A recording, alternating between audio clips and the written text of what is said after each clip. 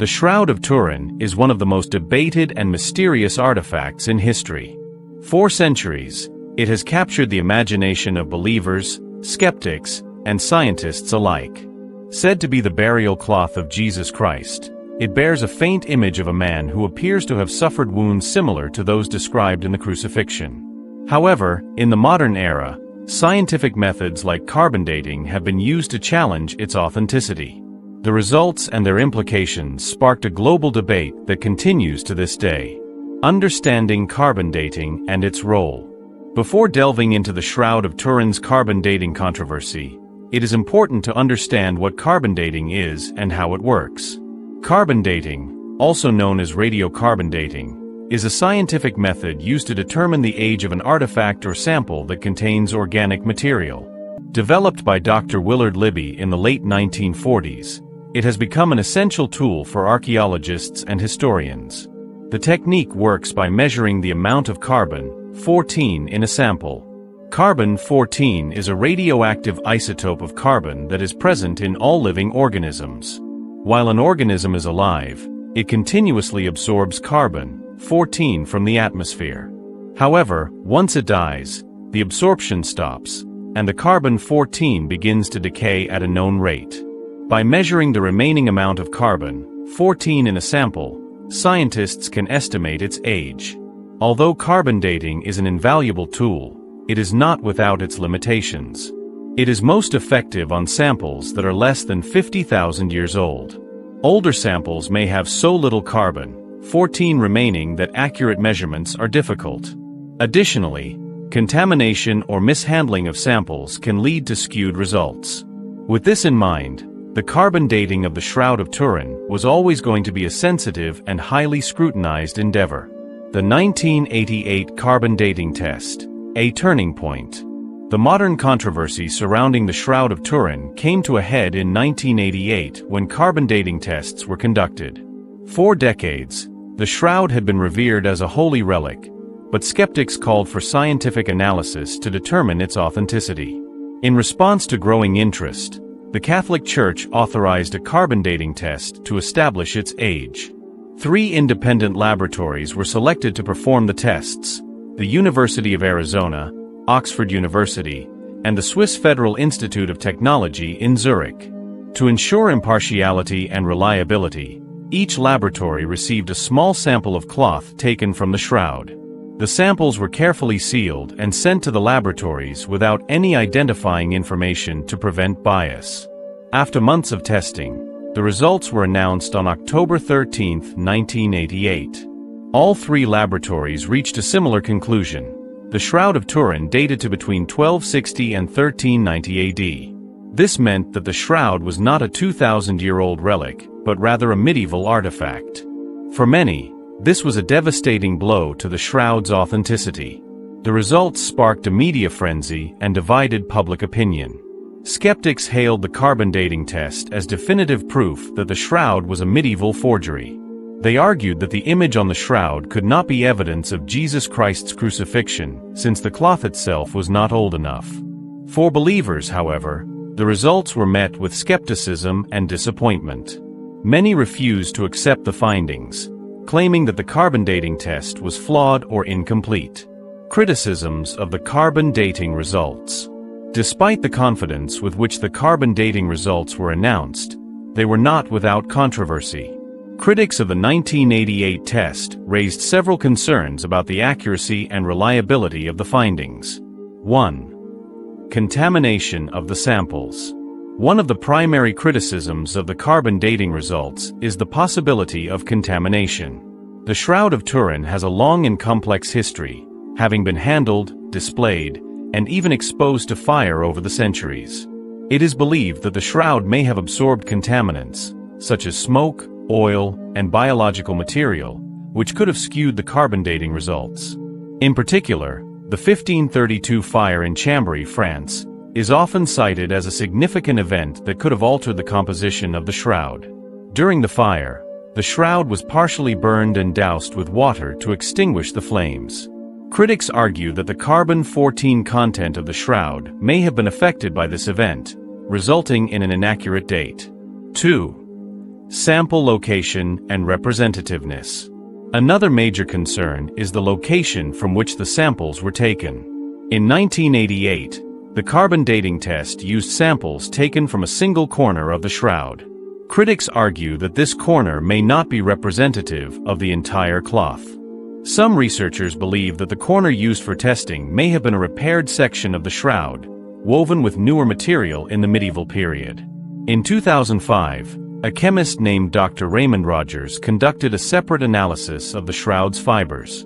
His findings suggested that the section used for carbon dating contained cotton fibers that were not present in other parts of the cloth. Rogers argued that the samples taken in 1988 were not from the original shroud, but from a medieval repair patch. If true, this would explain why the carbon dating test produced a medieval date. 3. Microbial activity. Microbial activity is another factor that may have influenced the carbon dating results. Over time, bacteria, fungi, and other microorganisms can grow on organic materials like cloth. These microorganisms can introduce new carbon, 14 into the sample, leading to inaccurate dating. Some researchers have suggested that the shroud's long history of exposure to varying environmental conditions may have resulted in significant microbial contamination. If this contamination was not properly accounted for during the 1988 carbon dating test, it could have caused the shroud to appear much younger than it actually is. 4. The role of bias and interpretation. Critics of the carbon dating test also point to the role of bias in scientific interpretation. While the laboratories involved in the 1988 test were respected and independent, some argue that there was an underlying assumption that the shroud was a medieval artifact. This assumption may have influenced the way the results were interpreted and presented. Additionally, the media's portrayal of the carbon dating results may have amplified their perceived finality. Many news outlets reported the findings as conclusive proof that the shroud was a forgery, leaving little room for alternative interpretations or further investigation. Alternative interpretations and scientific theories. In the years since the 1988 carbon dating test, Several alternative interpretations and scientific theories have emerged to explain the shroud's mysterious nature. While these theories do not all agree on the shroud's origins, they offer intriguing possibilities that challenge the carbon dating results. 1. The image formation process. One of the most enduring mysteries of the Shroud of Turin is the process by which the image was formed. The faint, almost photographic image of a man on the cloth has baffled scientists for decades. Unlike paintings or drawings, the image on the shroud appears to be a superficial discoloration of the fibers, with no evidence of pigment or brushstrokes. Some researchers believe that the image could have been created through a natural process, such as chemical reactions or exposure to radiation. In particular, the hypothesis of a flash of light during the resurrection of Jesus Christ has been proposed as a possible explanation. This theory suggests that the intense burst of energy during the resurrection could have imprinted the image onto the shroud. 2. New dating techniques. In recent years, advancements in scientific dating methods have opened new possibilities for analyzing the Shroud of Turin. Techniques such as Fourier transform infrared spectroscopy, FTIR, and Raman spectroscopy have been used to study the chemical composition of ancient artifacts. Some researchers believe that these methods could provide more accurate and reliable dates for the shroud, free from the limitations of carbon dating. In 2013, a study conducted by scientists at the University of Padua in Italy used these alternative techniques to date the shroud to between 300 BC and 400 AD. While this study has been met with skepticism, it highlights the ongoing efforts to revisit the dating of the shroud using modern technology. 3. Historical evidence. In addition to scientific theories, historical evidence has also been used to support the authenticity of the Shroud of Turin. Proponents of the shroud argue that its existence can be traced back to the early centuries of Christianity, long before the medieval period suggested by the carbon dating results. For example, some researchers point to references in ancient texts and artwork that depict a cloth bearing the image of Christ. The Mandylion of Edessa, a legendary cloth said to bear the face of Jesus, is often cited as a possible precursor to the Shroud of Turin. Additionally, Byzantine art from the 6th and 7th centuries features depictions of Christ that bear a striking resemblance to the image on the shroud. The shroud today, faith versus science. The debate over the Shroud of Turin continues to this day, with faith and science often standing in opposition. For believers, the shroud remains a sacred relic that provides a tangible connection to the life and death of Jesus Christ. For skeptics, it is a fascinating artifact that offers insight into medieval craftsmanship and the power of religious symbolism. Despite the controversy, the Shroud of Turin remains an enduring mystery. Whether it is the burial cloth of Jesus or a medieval creation, its impact on history, science, and faith cannot be denied.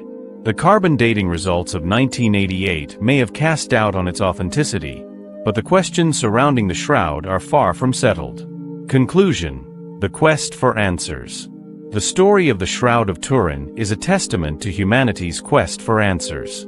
It is a story that bridges the gap between science, history, and faith, challenging us to question what we know and how we know it. The carbon dating test of 1988 was a turning point, but it was not the final chapter. New evidence, alternative theories, and advancements in technology continue to shape our understanding of this enigmatic artifact. In the end, the Shroud of Turin remains a symbol of mystery and wonder.